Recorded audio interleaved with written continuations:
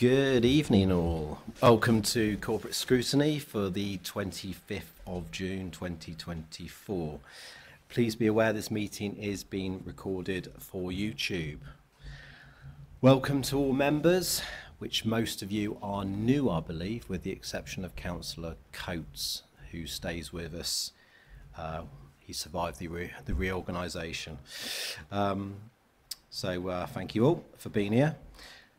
Apologies for absence. Uh, I believe I have Ben Price. Um, I don't believe there's any more, unless anybody is aware. No? Okay. So moving, uh, moving on to agenda item two, appointment of the vice chair of course. Can I nominate uh, Councillor Wells, please? So just to confirm, that was Councillor Wells. Do we have a seconder for Councillor Wells? Who was it, sorry? Oh, Councillor Summers. Okay. Do we have any more nominations for the, for the vice chair? No? Okay. Would you like to raise your hand in support of Councillor Wells for vice chair corporate scrutiny? And that is unanimous. Thank you and congratulations. Are you okay staying there for the uh, continuation of the meeting? Yep. Next time you uh, get promoted to this side. so um, good luck in a way. So uh, moving on to uh, agenda three, minutes of the previous meeting. Um, so unless anyone can say otherwise, I believe Council Coates uh, again attended last meeting, um, who is then here tonight. So um, do you want to move this, Councillor Coates? Are you in agreement with the minutes? Yes, I'm in agreement. To confirm those minutes were held, uh, sorry, the committee was held on the 22nd of April 2024. Okay. Okay, um, moving on again to agenda item four, declarations of interest. Does anybody have an interest they would like to declare? I take that as a no. Thank you. Agenda item five, chair's update. So Firstly, wanted to thank the previous chair, uh, Councillor Daniel Cook, for his work and diligence over the year and robustly scrutinising me as part of the cabinet at the time, um, which, by the way, was always terrifying and fun at the same time, oddly enough. Uh, as, well as, as well as cabinet, council officers were vigorously questioned with many of the pertinent issues raised through the committee going on to directly support and help the lives of ordinary residents. So thank you. Uh, secondly, many of you are aware that I was previously on Cabinet and thus invited what seemed like uh, most of the scrutiny committees, I'd say. Uh, I guess, um, but it did mean I saw a lot of passionate conversations, and I just wanted to highlight this. Um, and some that probably weren't so passionate, but approaching quite frankly more closer to what I'd say is aggressiveness in nature. Um, and I think we do have to be careful. I wanted to bring it up um, at the start of this one. So it brings me to the Nolan Principles, which of course as councillors we subscribe to. Just want to bring your attention to, of course, leadership, and this states the following. Holders of public office should exhibit these principles in their own behaviour and treat others with respect. They should actively promote and robustly support the principles and challenge poor behaviour wherever it occurs. So my request to members is that while some of the issues raised here can be extremely emotive, uh, particularly on this uh, committee and I'm sure health and well-being as well, particularly, uh, could we try to be courteous and understanding with both each other and officers of the council? Thank you. Third update, I'd like to remind members of upcoming training arranged in partnership with the LGA, Local Government Association. Um, unless it's changed, we've got uh, training on September the 16th, uh, again with the LGA, um, and there will be a councillor from another authority attending to share their experiences. Um, I was saying the other day, to be honest, the last one that I was on was absolutely fantastic, so I would uh, fully recommend it for your attendance. So that's it for my updates. Uh, moving on to agenda item six, uh, responses to reports of the Corporate Scrutiny Committee. Um, so, we do have some um, from my predecessor, uh, particularly around housing voids. Um, so just so, you, just so we're aware, we do have some recommendations. And of course, we have Cabinet Committee this week, which I will be uh, attending with these recommendations. So we've got to instruct officers to review the cost versus return of employing an in-house inspection team to see if we can drive down the costs of voids, to review how we recover damages costs from existing tenants and see if there is a more proactive way we can approach this long term. And lastly, that the portfolio holder calls Equans in to address members' major concerns around void turnover times and ask them for their action plan uh, in order to improve this. Uh, there's also something to mention. I didn't, I didn't write down in my notes here, but there's also some recommendations, and I forget the cabinet meeting. Um, so I forgive, forgive me for the dates, but it, there were some further recommendations um, around uh, housing issues, housing repairs, um, and we are aware of them, and we of course will uh, update on the next next committee meeting, which I believe will be in August. Thank you. And moving on to agenda item seven, consideration of matters referred to corporate scrutiny committee from cabinet slash council, and there are none. So moving on to agenda item eight, uh, which is the corporate projects update. Uh, we have um, with us uh, Christy Timms, corporate project officer, and this is a presentation um, to update the committee on the progress of the corporate plan and upcoming peer review. Over to Christy, if that's okay. Thank you very much, Chair. Yep. Good evening. There are 19 slides, but I promise we're not going through them in any great detail. Um, I have provided them for the committee, and obviously they will follow on in reports in due course. I think the, the Corporate uh, Peer Challenge one has already been uh, released, but I just wanted to reinforce to members the processes we're going to go through, the consultation we're undertaking on both of these aspects uh, of uh, challenge that we're going through and developing the new corporate plan, uh, and just give you an opportunity to feed in at this early stage. So, uh, the position is that the current plan expires on the 31st of March, um, and we're looking to create a five-year corporate plan going forward that will align with the MTFS and members will be aware that that process starts in earnest in the autumn when we start looking at how much uh, funds we've got available and what we're going to do with them and prioritise. The current corporate plan, uh, we're doing a bit of a review of at the end, and you'll have your performance update uh, shortly on this committee as well. Um, but it's taking forward some of those ongoing projects which are still featuring in that plan uh, into the next uh, term, and also to make sure that we've got uh, a little bit of thread of continuity with some of the ongoing works.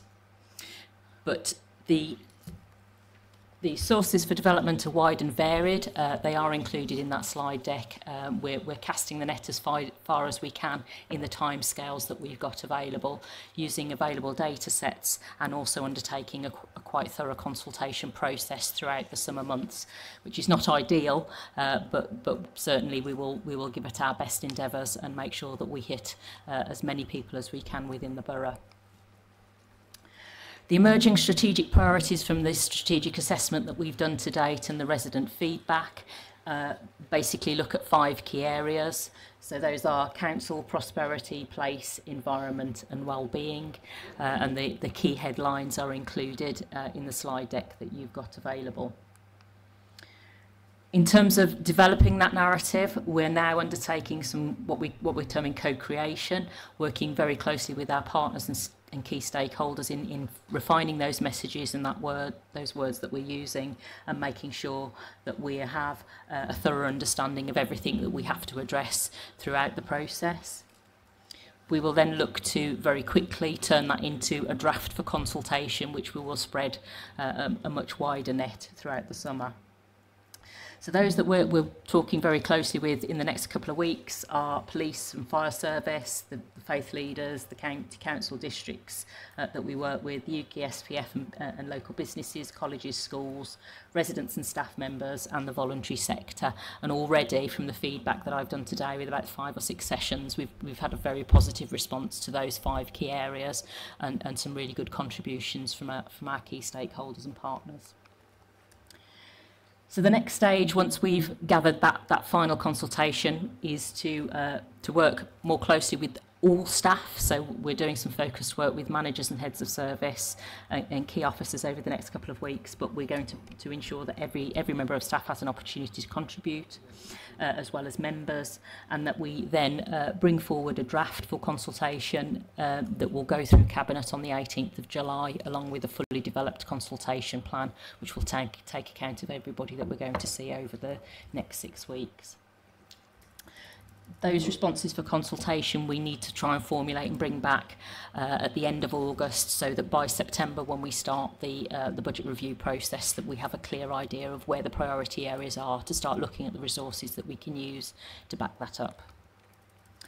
The final approval stage will not be until next year, so obviously the Budget Review Group works over the winter months and in February uh, Council get to see the results of that process and the final budget that we intend to implement from the 1st of April and it's that timeline that we'll be working to to finalise the plan. So up until that point none of the corporate plan will be fixed until all of that is agreed and signed off at that full Council.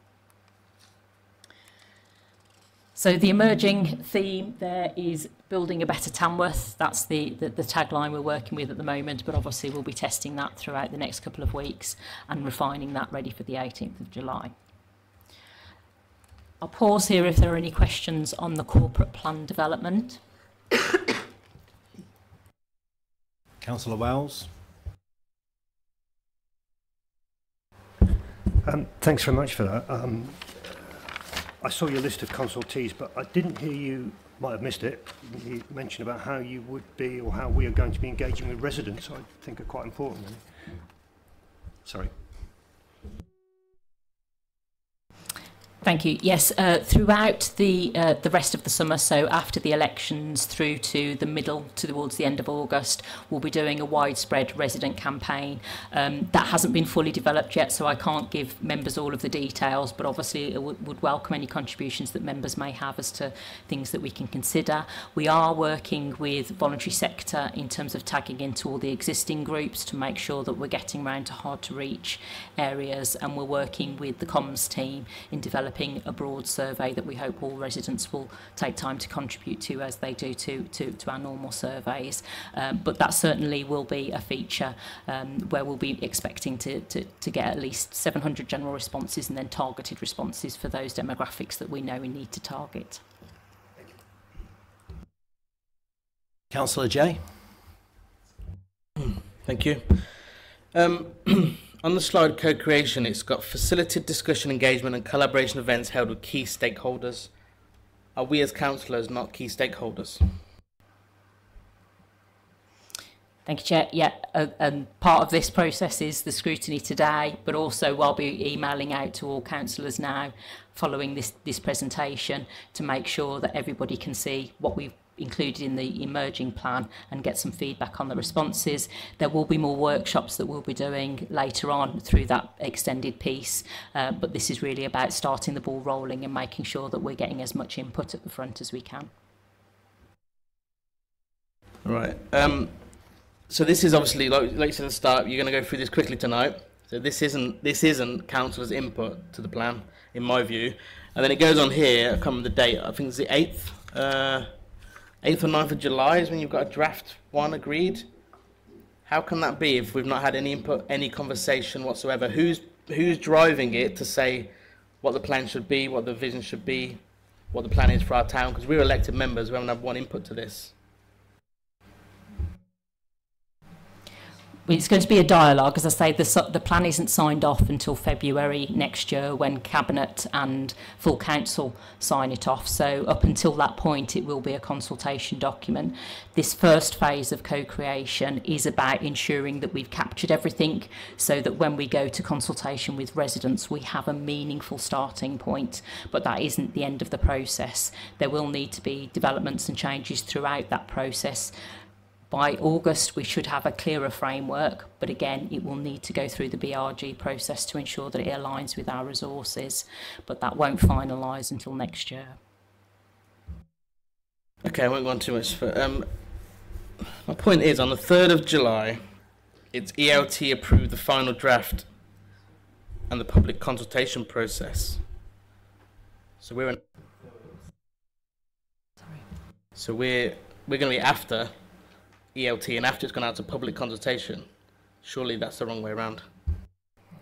The, the final draft is the draft for consultation, so it's just the starting point of that. So we, we've got to put something out to get the feedback in, but that's the point at which that that that development of what we're doing now is presented to the internal leadership team so that we can then build the consultation plan which will have to start after cabinet so it won't be able to go public until after cabinet but we need to have that draft ready to go through the decision making process to approve it to start the process of consultation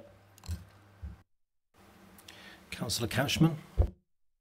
Chair, um, I'll go back to consultation engagement and the um, starting off from what we want, our priorities. Oh, hang on, I've got the wrong page now. Oh, waiting too long. Right, the emerging strategic priorities.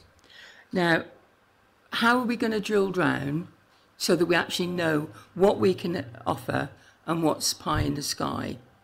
Um, because I mean the words are lovely and, and I know they always start off lovely but we need to know what we're talking about we need to know what does a caring cooperative innovative and data driven council look like so that people in the street know what we're talking about because for a lot of people this is nothing you know we know what it means but for a lot of people so when we consult with stakeholders can we make sure that the language we use is everyday English and that it's understandable by the vast majority of people, especially residents?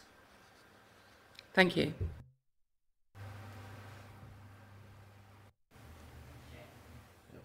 If I can just respond to that, yeah, we will be we will be making sure that we plain English test all of all of the consultation documents that go out into the general general public. With stakeholders, um, we are talking about sort of specific project projects that sit underneath those key objectives as well, um, even at this early stage. So there will be a, a list of objectives, and that will feed into the budget review group process uh, and the development of the MTFS to see, as you say, what's feasible to deliver. Councillor Jay. Yep, totally unrelated to the previous point. Um, it's got on here one of the slides. Council's vision needs to be created in line with the MTFS. Um, I feel like the, the vision should be agnostic of finances first, rather than linking it to the MTFS. What does the what do we want Tamworth to be? What do we want the council to be? It should be agnostic of finances, and then you go into the process and work out what can and can't be, be done. That's just a comment. I think as a vision, you should be agnostic of finances first. That's probably one for you know Carol and the, the new administration to take away. But be agnostic first. Be adventurous. Work out what the vision is go- you want it to be, and then pull back from there based on finances.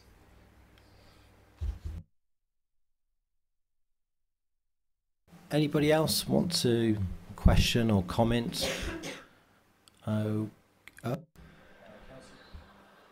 Yeah. Um, I may have heard this wrong because obviously the, the sound isn't brilliant. Um, is, is Councillor Jay suggesting that we make the decisions and not the residents and the stakeholders? Because I think they are the ones, if it's going to be successful, and our corporate plan will be successful, it's got to be driven by them and what they require and not by 30 people in this council chamber. well, I don't want to put words into Councillor Jay's uh, uh, mind, but uh, I'll just hand over to you if that's okay. Yeah, it must have been the hearing from the sound. Yeah, I didn't say the word decide. It was just our input, basically.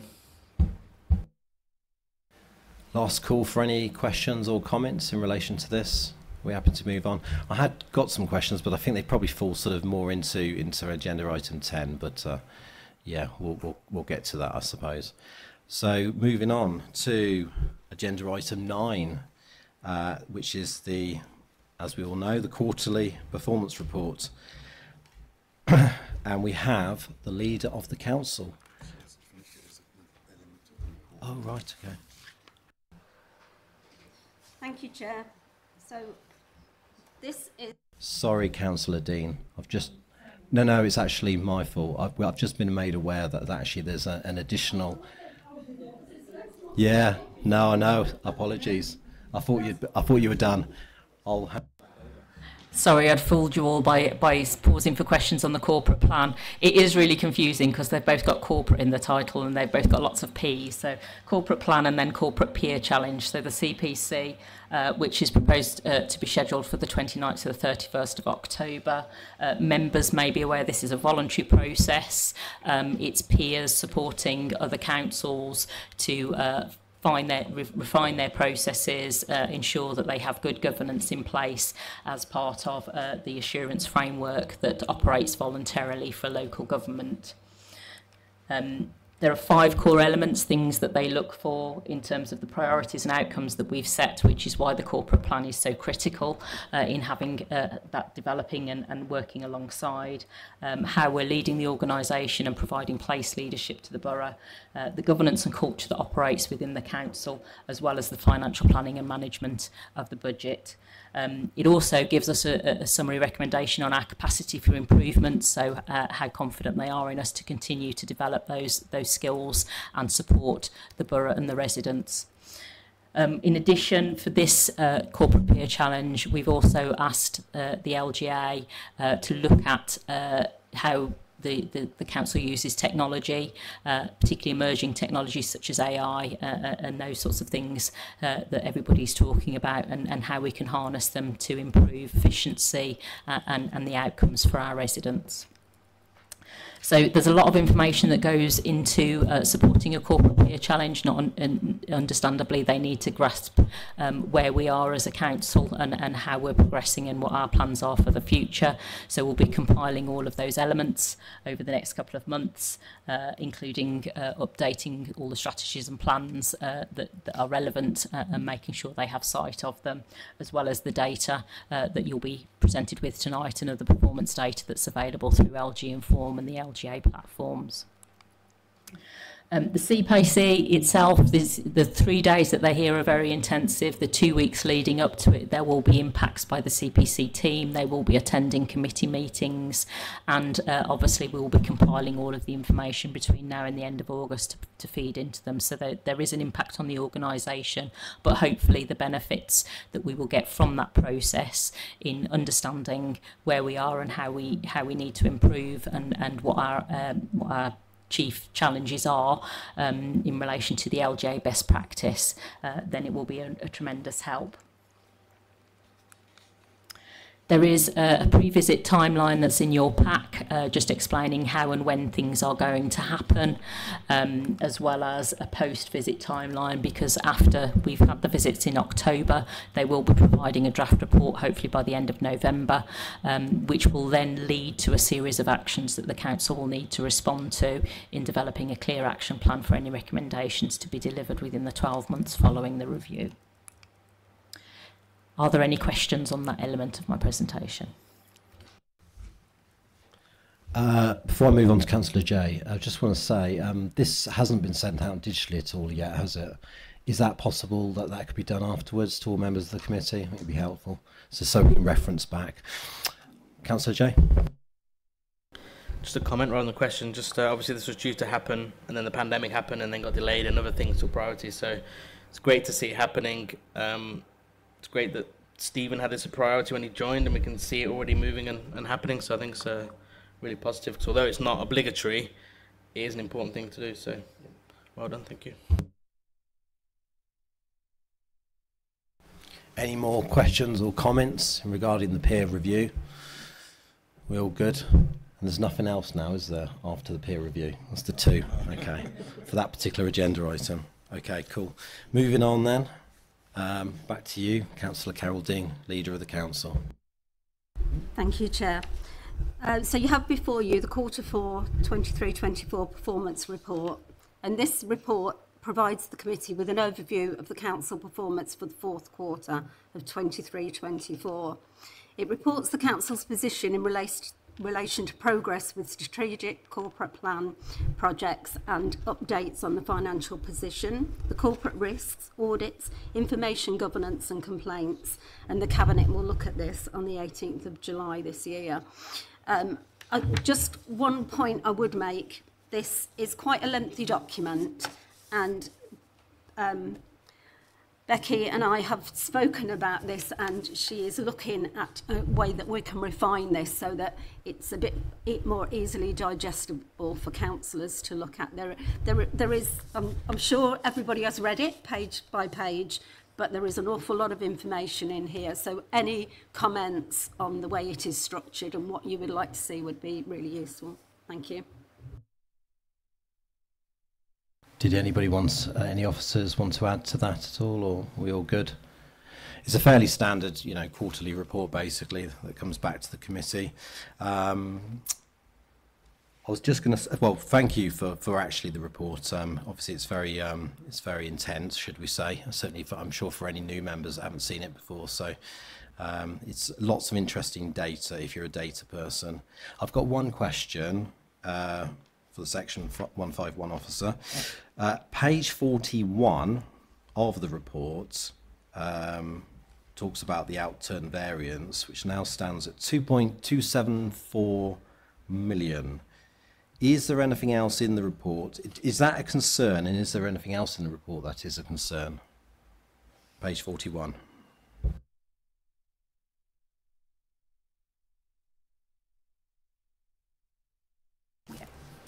Thank you.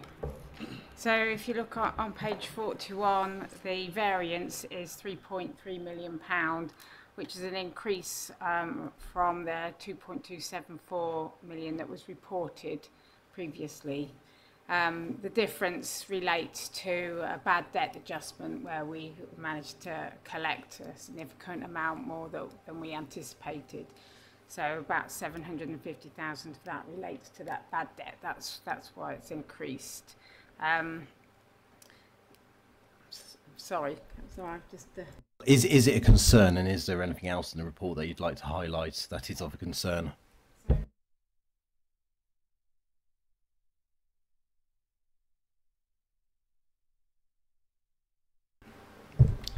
We're not unduly concerned about it because we were anticipating the underspend and that's largely down to the interest rates and that, that high level of reserves that we've got.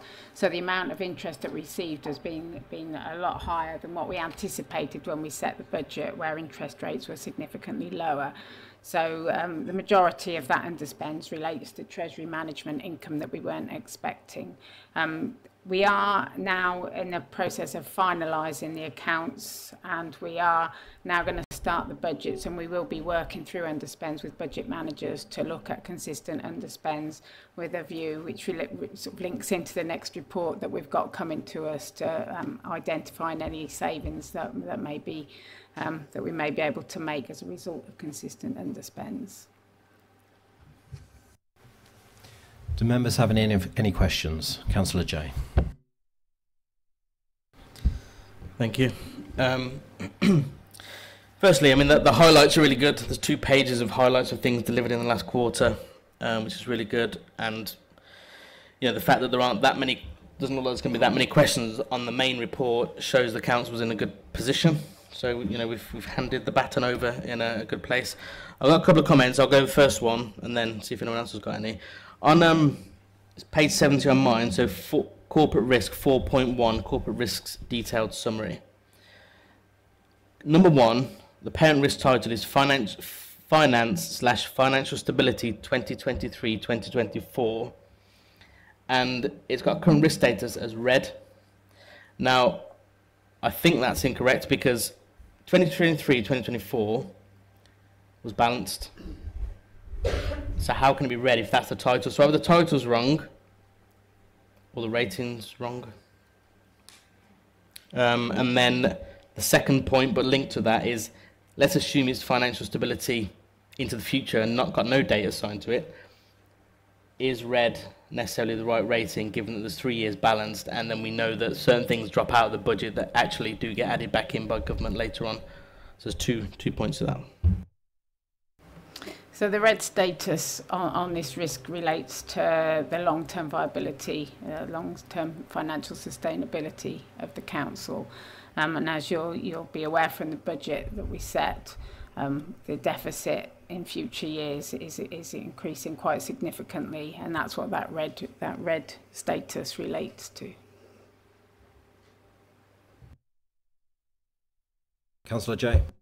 Thanks. Yeah, so in that case, then I think um, just we should just change the risk title because long-term financial stability or something, because that makes out that basically now there's an issue and there isn't.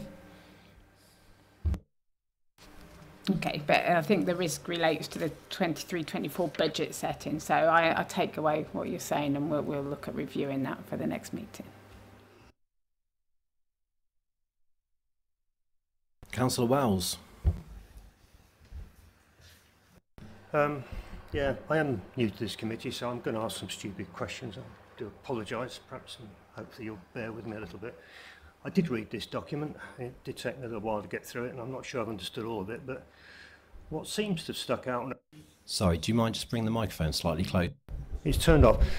You missed you missed that great thing, but you, know, you didn't miss a lot. Um, I, read, I did read the document, and what seemed to drop out of a number of tables, um, which was highlighted both as, as risks and, and um, etc., is the Future High Street Fund. There's a there's sort of little red and orange blobs against them. And when I, I look at page 16, um, table 2.1, um, I'm just a bit ignorant. I'd, I'd welcome a little bit of um, help here is, is that the work is progressing positively and multiple projects are moving forward simultaneously. So we've got a program of works going on. I'm aware of the things that, that are being built, but I, I, I think I'm just would like to understand a little bit further about, or your view really, on, on the risks and whether we've covered those off in the current financial provision adequately And if indeed moving forward um, we feel the risk profile is reducing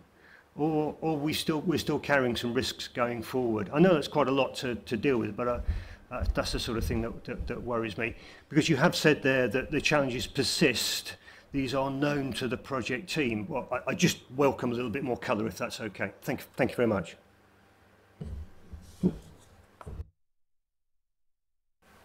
Yeah, I think I mean, I think in terms of the Future High Street Fund um, programme, obviously it's a very comp complex programme. Um, there are a number of risks which have been mitigated as far as they can, but I think one of the sort of what's reflected in the performance report is that you know it's not possible to entirely mitigate all risks associated with the uh, with the programme. I mean, one of our principal mi risk mitigations is that we do have a project board which meets on a monthly basis Um, and so the prog program and projects are kept under regular review um, so that there is sort of ongoing assessment of those risk factors um, and the, you know the program is under control in that sense. Um, I think in terms of the sort of the three areas of risk that we would probably sort of want to highlight and want to say is sort of continue to be underlying risks is obviously the need to make spend and commit resources um, from government. So those resources must be um, defrayed by the end of this financial year. So obviously that does put considerable pressure on such a complex um, program uh, with, with multiple projects, lots of moving parts, lots of other partners involved. Um, so that, that remains a risk that we keep under constant, uh, constant review. Um, there's then two other sort of areas, I suppose, which we, we would probably want to sort of highlight. The other is around um, some of the issues that we have had um, in relation to uh, middle entry. Um, so that has been a, an area of risk for us because we are uh, working with closely with the partner peer group. Um, we, we are, of course, working very closely with them, but again, that you know there are areas around that particular project which um, are not entirely under our control. So that remains as an area of risk that we, we continue to highlight as, as being something that we need to keep a close eye on. Um, I think the other sort of area is around programming of works. Um, so, you know, that again, making sure that all of these works happen uh, in, in the right sequence at the right time. Uh, you know, those are also areas of risk that we, we kind of, you know, we have to keep uh, continual um, vigilance on. So I think in terms of um, highlighting the program as having a number of risks, I think that's a sensible, you know, approach that we take. We do have risk mitigation measures. As I say, there is a, a program board that meets on a monthly basis. Uh, that that um, program board um, on a monthly basis re reviews all risks, um, all program delivery, and we do seek to overcome any sort of uh, any humps in the road. Uh, as, as we come to them. But it is about having that prudent approach, continuing to register that this is a continues to be a very complex, risky, uh, and difficult undertaking. But I think it, I would say that the risks are all managed uh, and will continue to be managed. Thank you, Chair. Councillor Jay.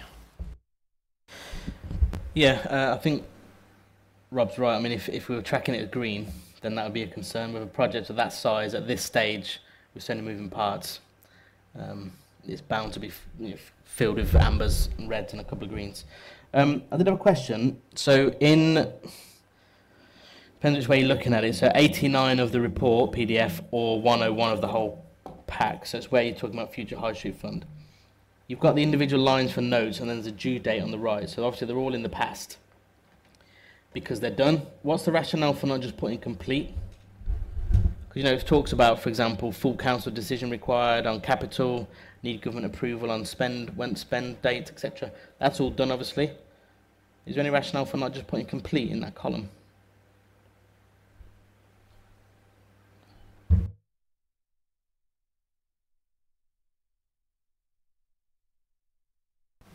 Who wants to answer? Have you got the page number? So of the PDF itself, it's pa- where there's 100 pages, is 89.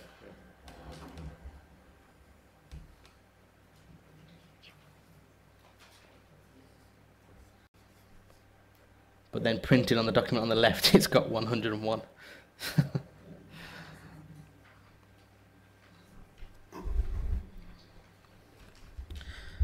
my, my point here is that any, if someone were to pick this up, it might look like, you know, we left lots of things unanswered, but we didn't.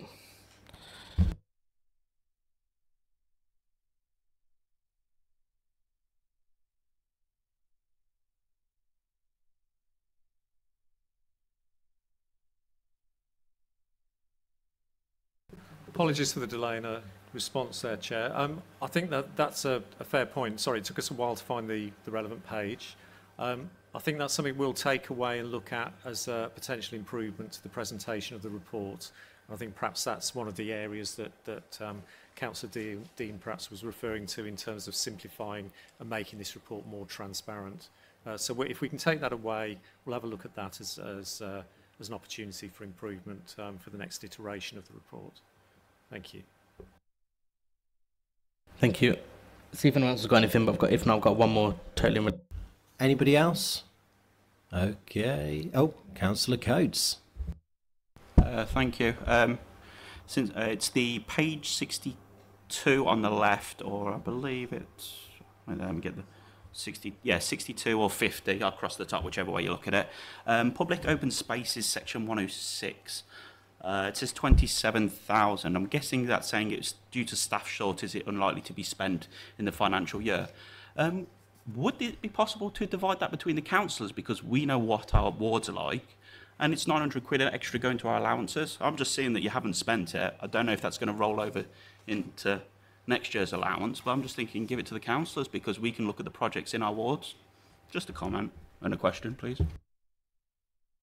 Yeah, just to re-emphasise, that is uh, money that we obviously can spend on our own wards, not not part of the uh, the council allowances. Just to just to confirm that. Uh, anybody want to answer that? Um, well, first of all, to say, um, obviously, you know that that is there is a result of um, some staffing shortages which we are addressing um, in the current financial year. Um, I'd also sort of say, the, I suppose the other important thing to note around those Section 106 monies is they do come with conditions.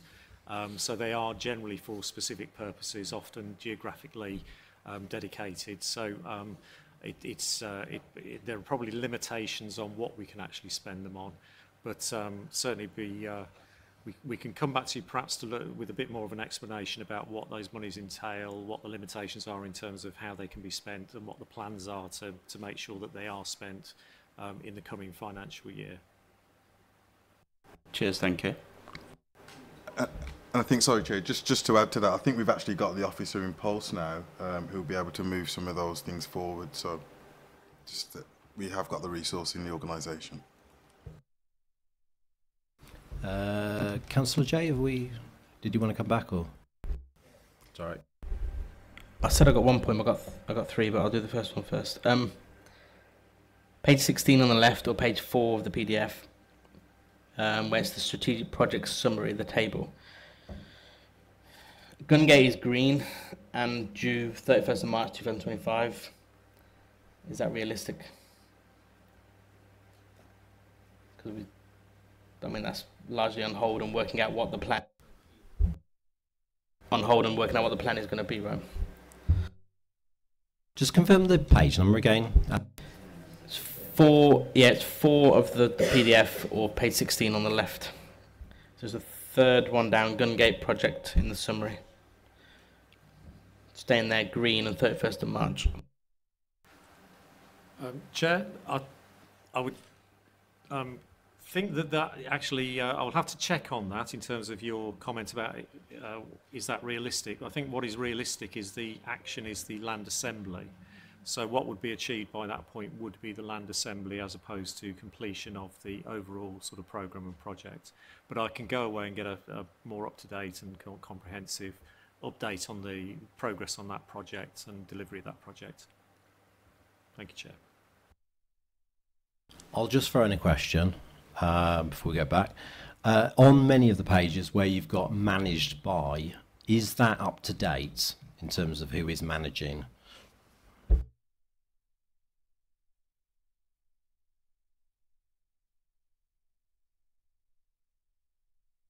Chair.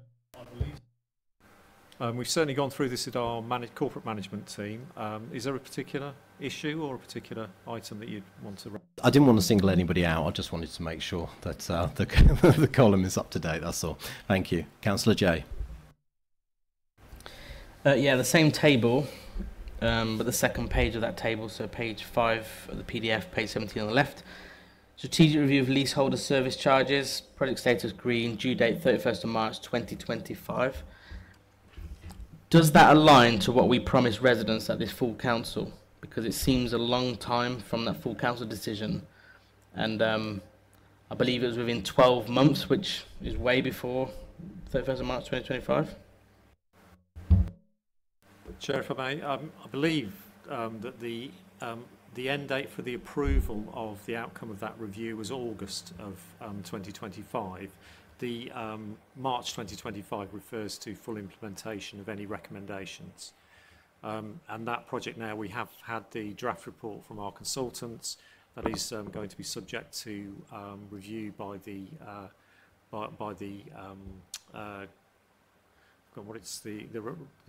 what you refer to it, but um, the um, group that includes um, members and leaseholders, and then we'll be moving forward to bringing those recommendations back to cabinet. So I think in terms of the the approval of the recommendations from memory was August um, 2025. Um, that um, sorry, my apologies, 20, August 2024. Um, August, uh, March 2025 refers to the full implementation of all those recommendations. So just to be really clear then, so residents won't have to wait till March 2025 to know the outcome, it's just the delivery of that outcome will then take a bit longer. Yeah, so the, the overall project plan has been updated to recognise that some of the recommendations will take um, uh, some time to actually implement, but we are still on track to have those recommendations in place and approved by Cabinet um, within the original timescales that we set out. Thank you. Any more que- questions or comments in relation to this? Yep, Councillor Wells. Sorry, it might sound like another naive question, but I'll keep going. Um, where a budget hasn't been spent, I'm, I'm looking particularly, for example, at local nature reserves there in... I'm guessing that that's not going, the benefit doesn't go into next year, financial year. That's, that's going to be uh, another decision, isn't it? So I guess what I'm saying is that the anticipated spend there on the local nature reserve has, has now been lost. Is that, is, that, is that an eventuality or how does it work? Could you just confirm what page you're on for me, please? Page 62, it, it was in connection with um, Gareth's point on the, the, the, the section 106. There's, there's, a, there's a number of budgets there that, um, for reasons of staffing, I think has been a trend there. We haven't managed to spend them for, for whatever reason. Um, it was just... Oh. Yeah, the commu- Stumped again. okay. So the section one, what section 106 money set aside, so it, it doesn't mean it would be lost, it just, just means deferred into the next financial year. So, um, so it certainly will be still spent on those projects because that's what it's been set aside for. Um, in the normal budgets of the authority, if we have an underspend, then uh, budget managers have uh, an opportunity to request it to be carried forward if there's a legitimate reason for it not being spent. Um, if something maybe has just been delivered at the beginning of April, for example, rather than the end of March, and it's a bit of a project related or delivery issue, um, then they can request for it to be carried forward in reserves, um, and then that will be available for spend in the in the next year. Okay. Councillor Couchman, did you want to? I was just going back to um, what Councillor Jay said, and I think he covered most of it. But we are keeping all our leaseholders up to date and up to speed with everything. We're not sort of like all of a sudden going to give them a letter that says you need to pay this or whatever. It is. It, I know there's. A, I know there's a leaseholders and uh, working group going on, but I just wanted to know: Are we keeping everybody up to date so all the interested parties know now where they stand?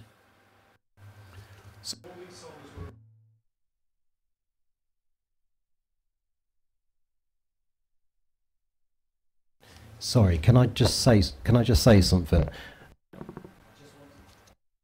I just want some clarification. Considering we do have potentially a member within the committee that might be closely related to this, is this something that we can actually talk about or get more detail on? Um, I, I just want to just clarify that as well.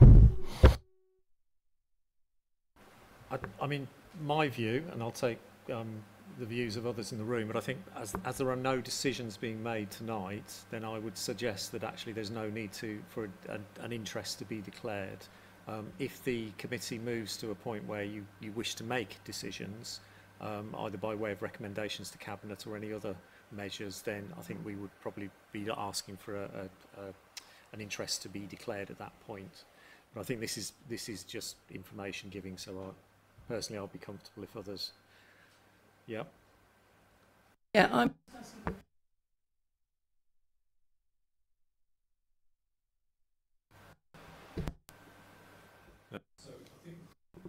The stage where we are is that we have a draft report from our consultants. Um, that will be taken through the consultative group, which has leaseholder representatives.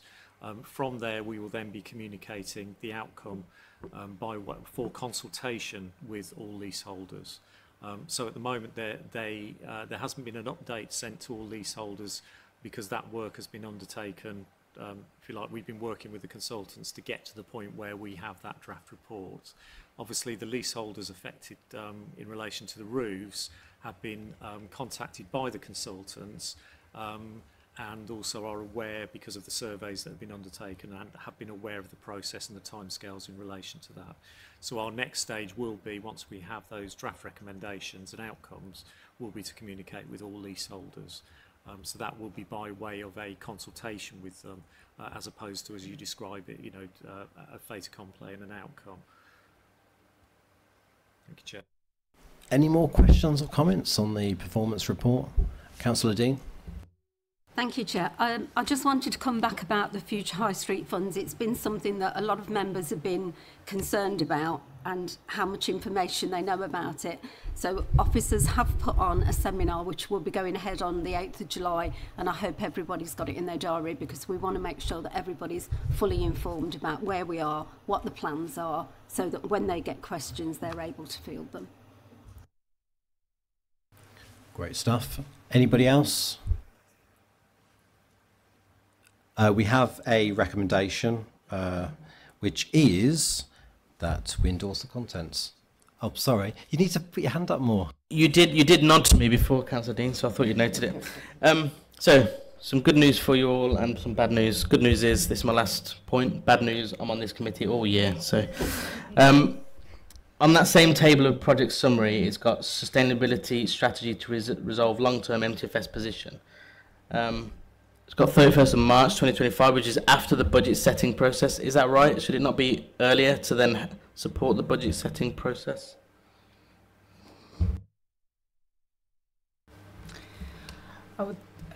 So you have the report tonight coming to scrutiny tonight and to cabinet on Thursday for the sustainability plan, um, which is now going to be called the financial stability plan. Um, I think that date refers to the delivery of, of the achievement of some of the first step of those goals when we set the budget in February. So it's sort of it's the first stage of that process um, to, to be able to identify the savings that we need to make for the future. So it's it's at the termination of the budget process really. Okay. Um, so the budget in March and not February? I thought it was February. The reason I'm asking is loads of them just say 31st of March, but if the budget's earlier, should Sorry, sorry. should the strategy not be completed earlier? So the budget clearly is set at the end of February, um, but there is scope for the final date for setting council taxes, the 11th of March. So um, we've just put the 31st of March just by the end of the financial year for completeness, but hopefully it should be finalised in February.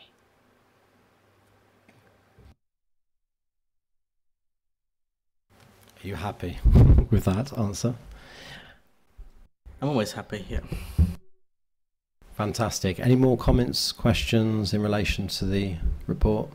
No? Okay, so we have recommendations, which of course is to endorse the content of this report and for it to be considered then for Cabinet. Um, would anybody like to move this along? Councillor Jay and second, Councillor Summers. All those in favour, please raise your hands. And that is everyone. Thank you. So moving on to the uh, next uh, agenda item, which is agenda item 10, sustainability strategy and productivity plan. Um, who's starting this one off? Councillor Dean. Thank you, Chair. So we have our financial stability plan and productivity plan, and the purpose of this report is to provide um, corporate scrutiny with the information and a timetable for the financial stability plan and productivity plan prior to it going for consideration to Cabinet on Thursday, the 27th of June. In your pack, you will notice that there is a letter that we have received from the Minister for Local Government, and that sets out the criteria for the productivity plan that has been put together. Um, I'd like to thank officers for the work that's gone into this. It's something that we've got to do and get done at um, quite short notice. This will then be put on our website and it will be a document that we will have there for everyone to see. So, um, yes, I would like to your endorsement on those five items, please. Did any officers want to come in on that, or we should go straight to questions? Okie dokie. Well, I do have some questions. First one is Is the financial stability plan in the report? And if so, where is it?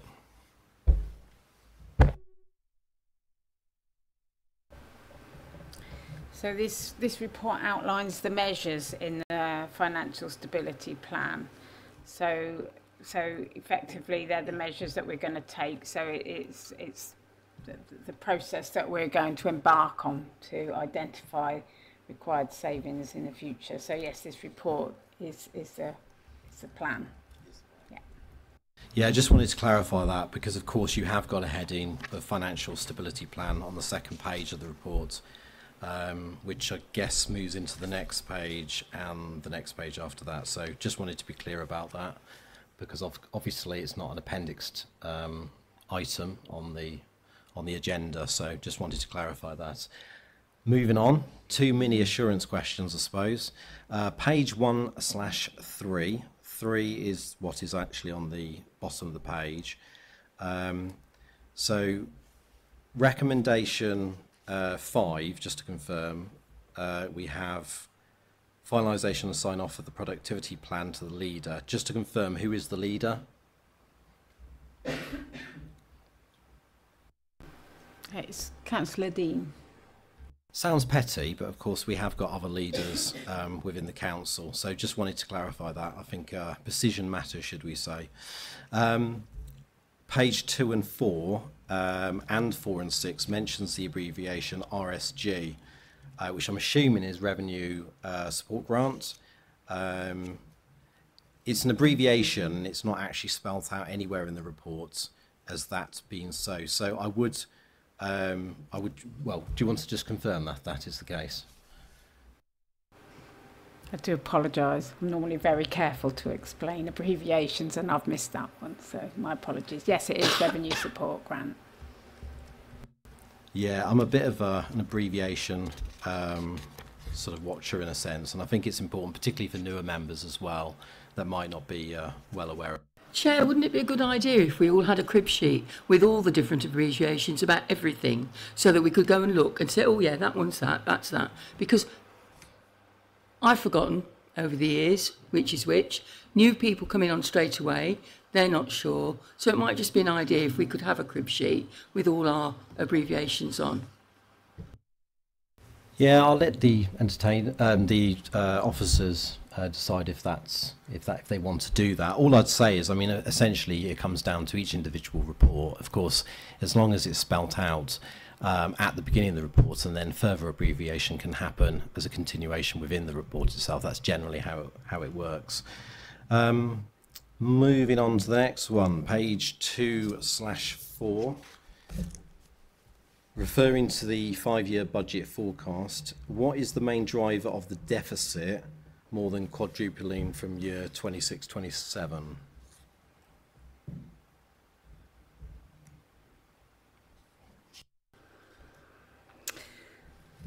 So the main driver for the deficit is is um, the business rates reset.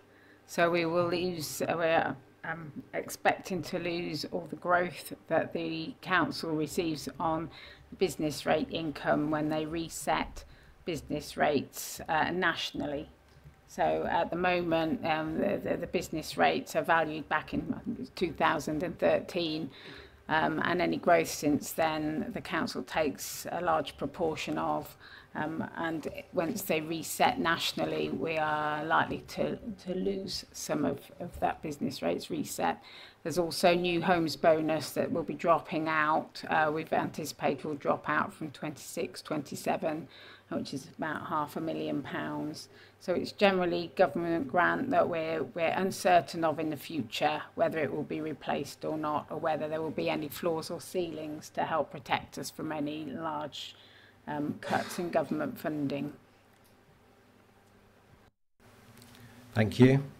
Uh, page three slash five, under spend to save, and regarding the transformation reserve, it states this will be predominantly ICT, um, by the way, information communication technology. Um, it does say it in the report, thankfully.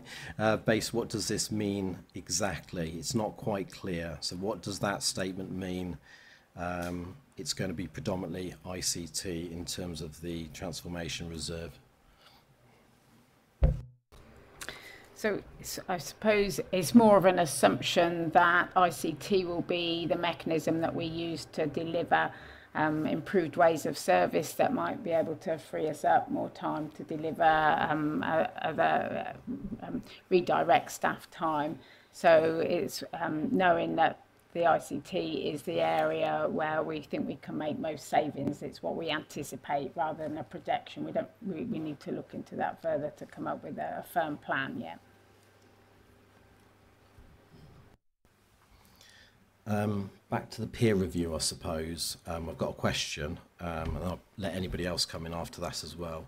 Um, just to confirm, how was it initiated and how long is it expected to take? Forgive me if it was already mentioned. So I'll take the response on the peer review. Um, it, it, the, on, they'll actually be on site for three days, so I think it's 28th, 29th and 30th um, of October.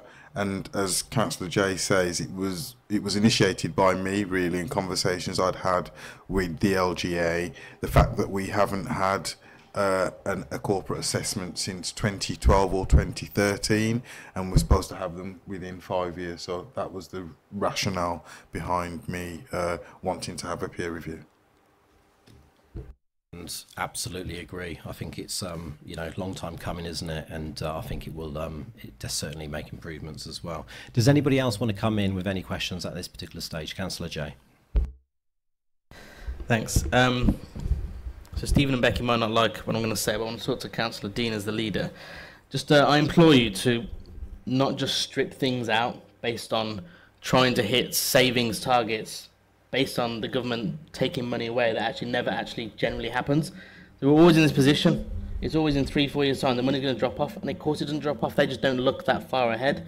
So we put, you know, in the last budget there were lots of fantastic growth items for the town. Um, there's new staff in the street scene team. There's new customer service staff. There's a new Christmas um, festival. There's new, you know, there's lots and lots of things we put in there that are great for our town and the future. More money for the future hardship fund, etc. I just implore you not to be led down that path of just stripping all this stuff out based on something that probably will never happen. Have a, you know, be bold with it. Did anybody want to come on, uh, come back to that, or shall we move on? You okay? Oh, Just take that point on board and we will look at everything. Not, not do things quickly. We will, you know, take our time and make sure that every decision is well thought out and we take advice from our officers. Um, if I could just refer you back to table one, we're in a deficit position in this year of uh, 1.1 million pounds, rising to 3.2 in 2026, 20, 25, 26.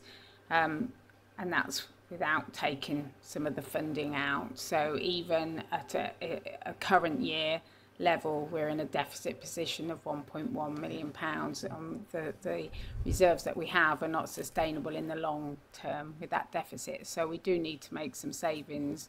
The amount of exactly how much will be determined in future years. I, I accept that, and, and we do build those into our projections.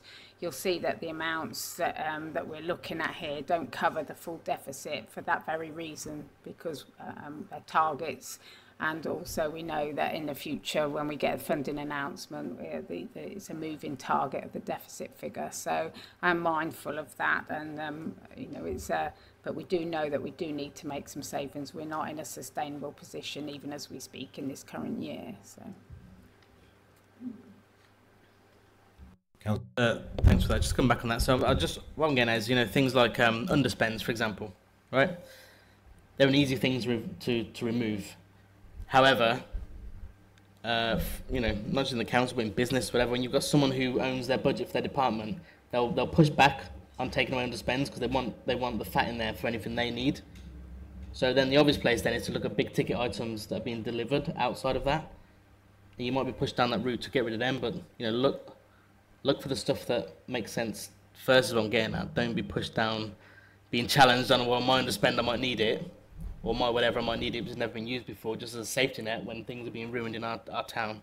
So just be careful of that. Before I move on to the productivity plan, I suppose, has anybody got any more questions at this stage? No. Um, so just wanted to highlight something. Page four six, four slash six, sorry. Um, so this this part here, that under productivity plan, the first part references a letter received from the government, uh, albeit without any guidance over the. This is uh, a quote, albeit without any guidance over what the plan should look like, or how it should be structured, um, was mentioned in the report. Um, and I don't want to sort of have a dig really, but um, it's sort of quite, um, I suppose, what you could say is taking aim a little bit. Potentially, I'm happy to be, you know, um shown wrong on this, um, but maybe, you know, maybe it's just my interpretation um, at the letter from the minister. Um, so I just say, um, further to this.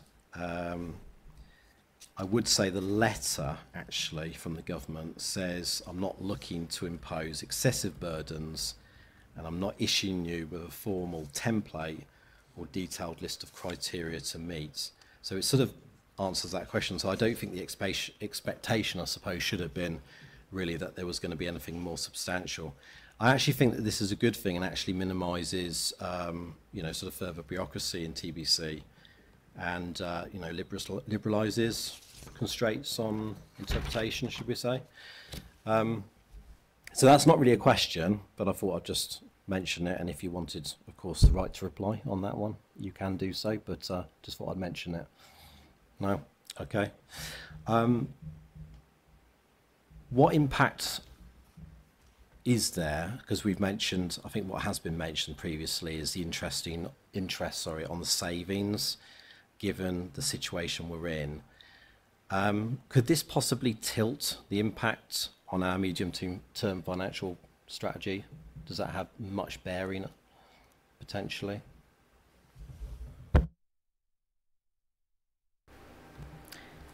I'm not sure I quite understand the question, but the interest that we receive on the savings, um, we have obviously budgeted for a higher rate of interest this financial year. Um, it is difficult to predict in the future, as you'll accept in recent in recent months and recent years. It's um, moved around unexpectedly, um, not in line with what the markets would have expected. So that makes it difficult to determine. Um, so it, it is an area where if, if the rates vary from what we have in the budget, you will always see quite a large budget variance. Um, I would also say that some of the reserves relate to things like the Future High Street grant, um, and as we spend those, the level of money that we have available to invest will decrease because we're spending it on the projects for which it's been awarded. So, uh, so as those go down, the, the amount that we have invested decreases, so it has a lesser impact on the budget, and we try and predict both of those when we set the budget um, in February. Thank you. Just one more question for now. Um, would you say we're utilising all possible or available grants? Is there a necessity for this to be reviewed at any point?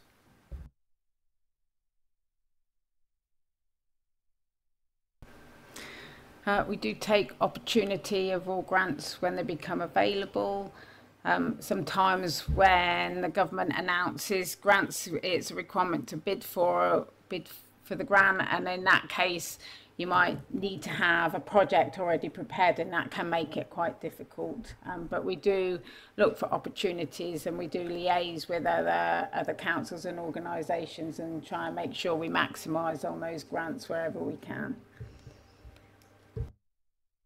Anybody got any questions or comments at this stage? No.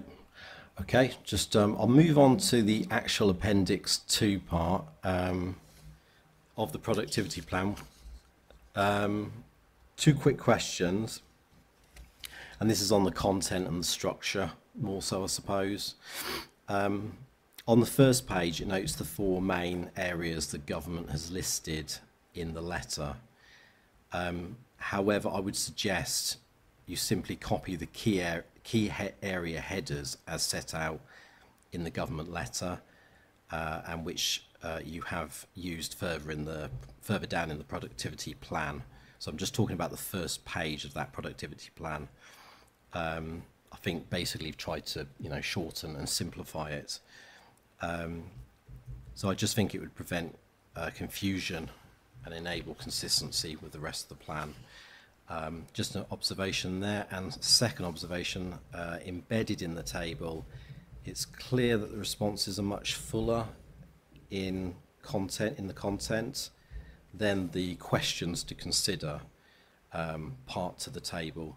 As such, I would suggest moving away from the table layout and simply list the considerations along with the area header at the top of the page, followed by the evidence response filling the rest of the page. It would just have a, a bit more of a clearer view, should we say. Um, not really a question, but that's just some observations, yeah. Yeah, I can certainly take those comments on board. Um, we will also be um, presenting presenting the, the plan in a, in a um, more visual format when it's complete as well for, for release onto the web publication onto the website and when we send it in. So um, this is more an approval of the, the words and where we're going in the direction of the, of the plan. Thank you. area section one, should we say, I suppose, of the productivity plan in the appendix. Um, I do think there's a lack of evidence here um, shown um, to couple of the, I suppose, um, considerations, uh, which were how have you transfer, how have you transformed the way you design, and how do you measure productivity in your organisation. I don't think that's been demonstrated on both of those. Um, and also, what are your current plans for transformation over the next two years, and how will you measure the effect of these changes? Again, I don't think there's much evidence that's currently shown in the productivity plan at the moment. So, moving on.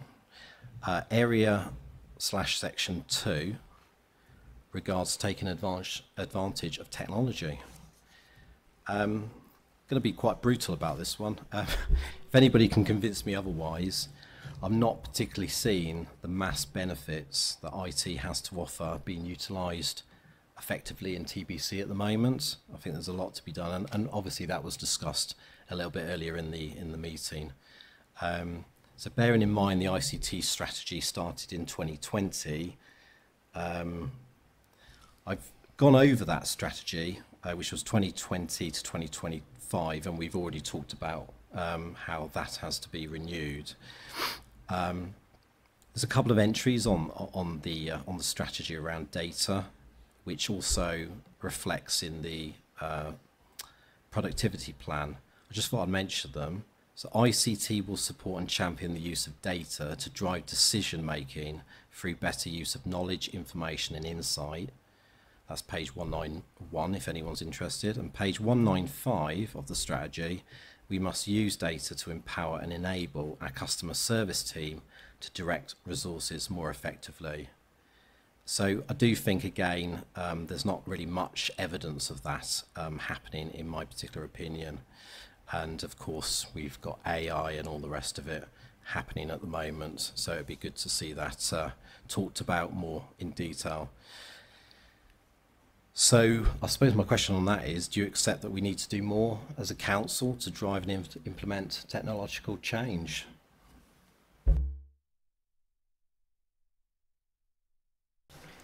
Thank you. Um, yes, I do recognise that we do need to do some more and the strategy is currently um, undergoing the refresh. Um, so we are looking at um, different ways and all of the things that you've mentioned are um, being considered in that to improve that data that we have and the insight and actually being able to make the decisions from there. Warm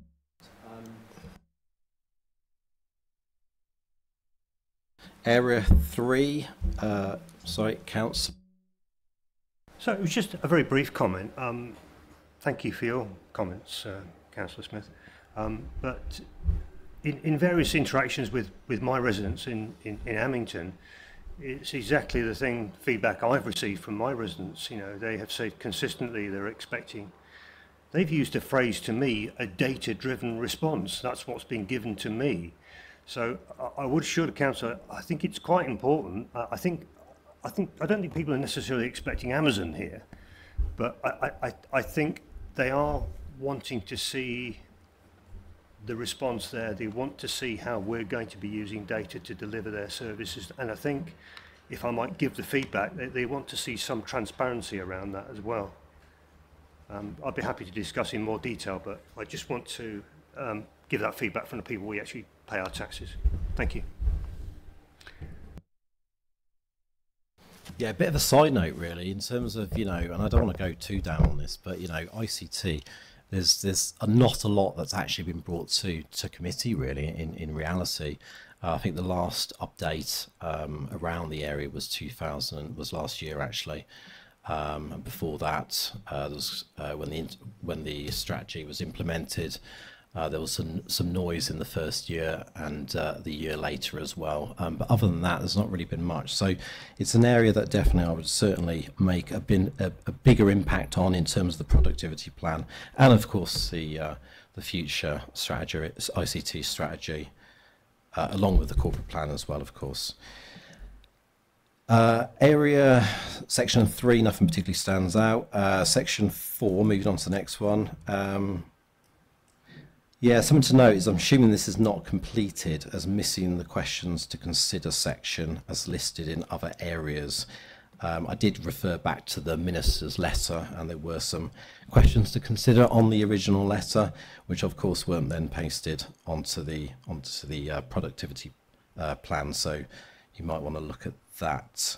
Um, in the TBC response on that section, section four, um, I do note the content is very much external focused. Um, so I'd, I would suggest adding some barriers that actually exist, not just external, but sort of within TBC um, or from TBC, as the question doesn't necessarily dismiss this, I would suggest.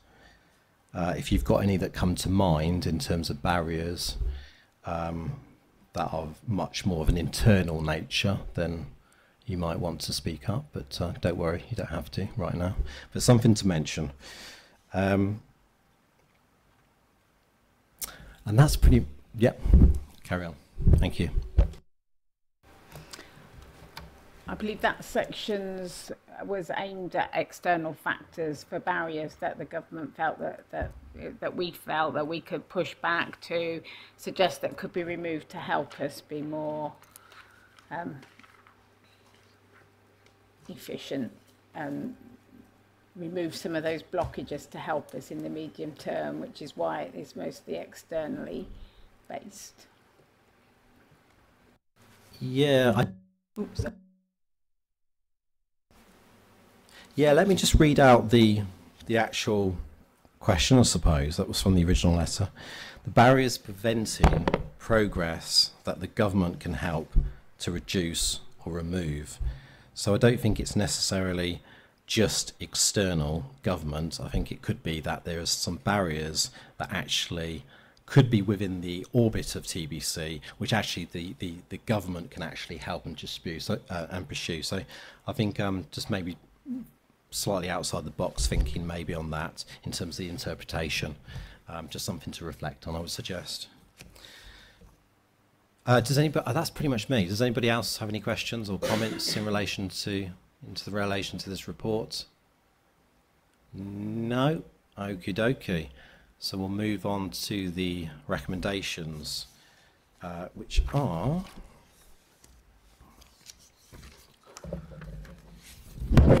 So there's five. The approach, first one being the approach and timetable, detailed in the financial stability plan. Number two, the budget and medium-term financial planning process. Uh, number three, the contents of this report prior to consideration by cabinet. Um, number four uh, would be the productivity plan prior to submission and the full publication to the Department of Levelling Up Housing and Communities. Probably needs to be sort of worded a little bit better in terms of what the actual action is. That's just my little observation on that one. I think I think we know what we're getting at, but just to be totally clear. The delegation for finalisation and sign off of the productivity plan to the leader and chief executive. Um, if everyone's okay with that, who would like to move it? Councillor Wells. Uh, anybody to second? Uh, Councillor Hadley? And all in favour? That's unanimous. Thank you very much. That will obviously go to Cabinet now. So, I think, is that it for the officers? If, if anybody wanted to leave, I believe we're, we're pretty much there. Uh, let me just go back to the... Uh, yeah, we're now on to working group updates. Um, yeah, so if you wanted to leave, be free. Working group updates, just something to mention on this. Of course, as what was the last uh, committee under the previous chair, uh, there was one working group, which I think was relation, related to, to housing, particularly, wasn't it? Um, at the moment, I've got no sort of desire, I suppose, to sort of pick that up, um, unless there's anything specific, I suppose, in nature. I think generally my my uh, view on this would be that actually many of these issues can actually be absorbed back into the committee. Um, I don't actually think necessarily that this committee actually stays long enough um, uh, or has stayed long enough um, across the year. I think we can, you know, do more with the time that we've got rather than additional meetings, you know, whether that be working group meetings or whatever. Um, but if anybody has got anything specific, um, then it is important to raise. And if it does require a working group, of course, um, we can consider it. Um, just bear in mind also on this, you know, we have got a situation where many of these pertinent issues do sort of cross over different committees. Um, and of course, we have the Housing and Homelessness Advisory Board as well.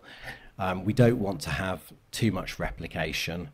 And um, I am in conversation, I've already been in conversation with uh, Councillor uh, Couchman uh, in a meeting yesterday with the executive about how what we can do to make it more clear and defined what the subject matters are for the relevant committee.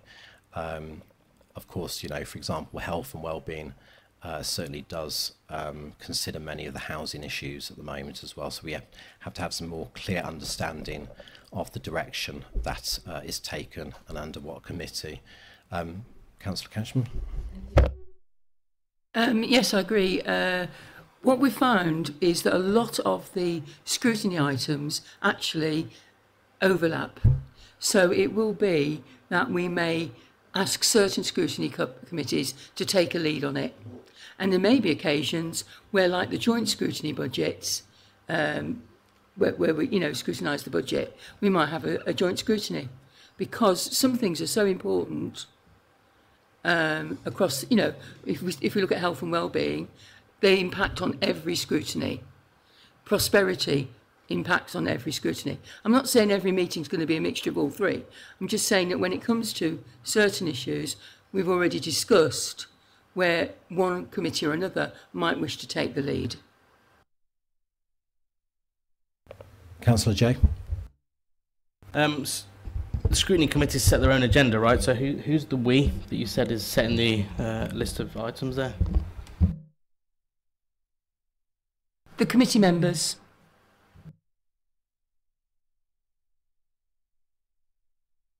Yeah, I think we're all just working to, you know, we're talking about efficiency savings, I suppose, in, within the committee, but I think there's potentially some waste where there's some replication in terms of uh, what the officers are having to do, attend multiple uh, committees or advisory boards, and we just need to make sure it's more streamlined and we're more aware of what um, what pertinent issues fall into which uh, committees, scrutiny committees. If I may respond to Councillor Jay, what we're looking at is making sure that we work smarter and more efficiently. And as Councillor uh, Smith has said, we are not looking at replicating or having lots of different dry reports. We want to actually get some actions done. And it, if, if it means that one committee takes the lead on another and, and members in, in the committees discuss it, I mean, we do have an overlap of committee members in different committees. It might be that that happens. It might be that in discussion with officers. It might be in discussion with chairs of committees who would always come back to the relevant scrutiny committee for their uh, approval or not. Does anybody else want to come back on on this particular issue with the working groups? Okay. As I said, um, you know, it's about scoping out what is the best um, strategy and the alignment, of course, with this. So, um, to to obviously make it a bit more clearer as well. But we do set our own agendas, of course, uh, which I will be coming on to, I suppose, with the uh, the work plan as well later on.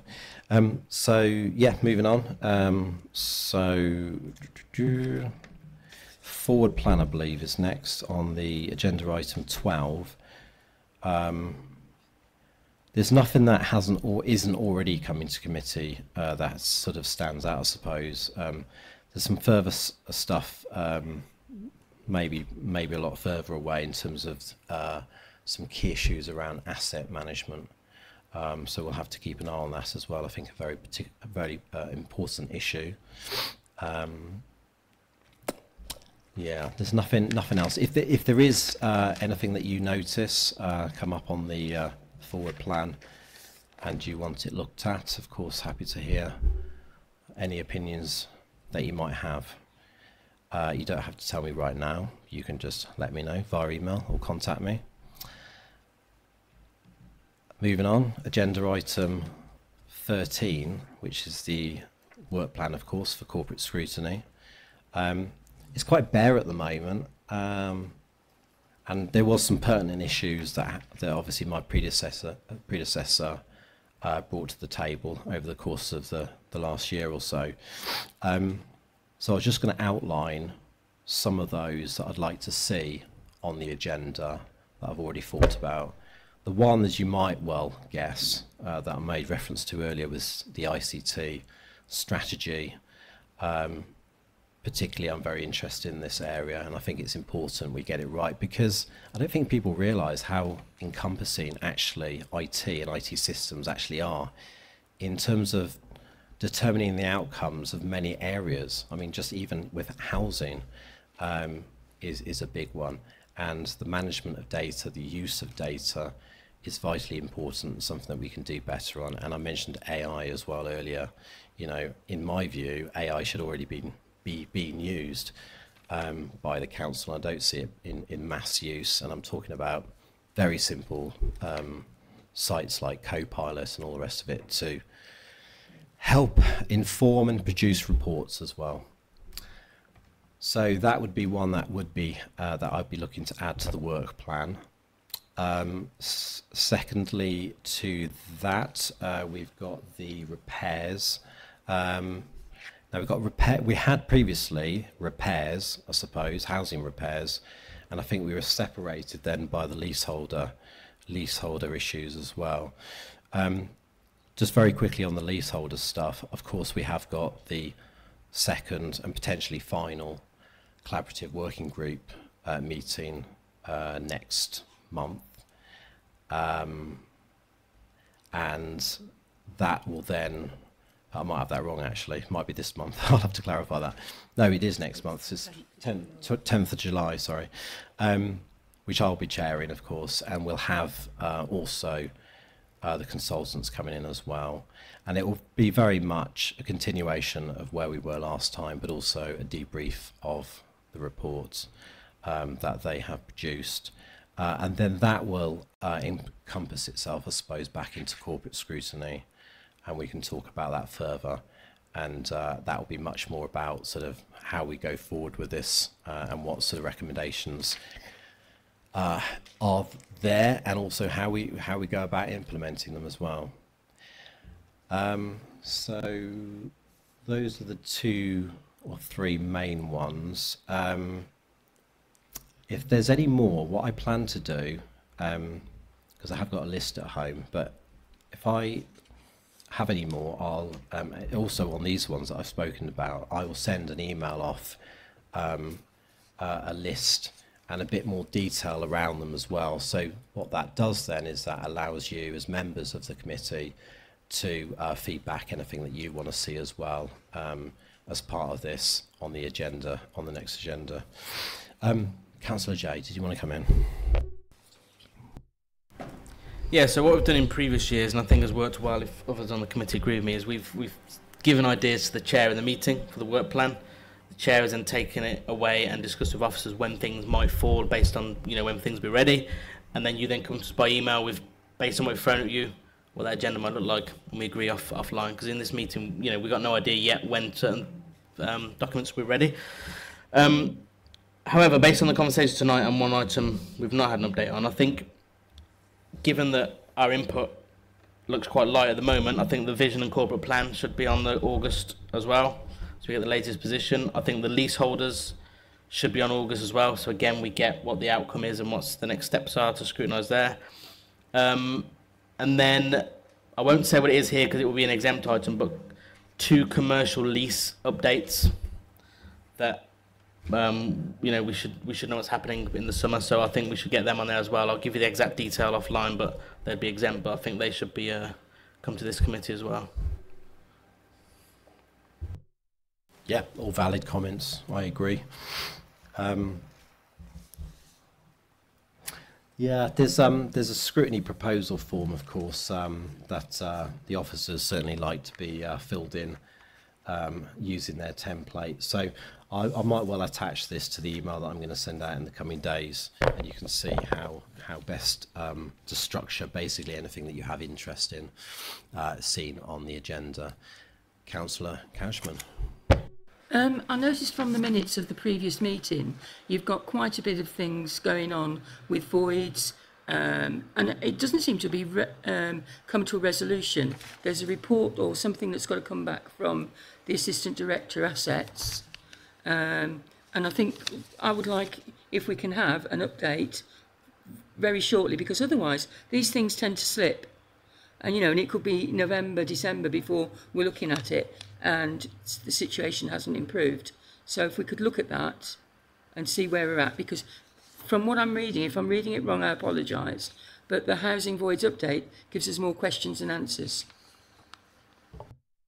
Yeah, definitely agree. Uh, there needs to be uh, more insight in that key area. Voids has obviously again become a very pertinent issue across the last year, very emotive issue as well.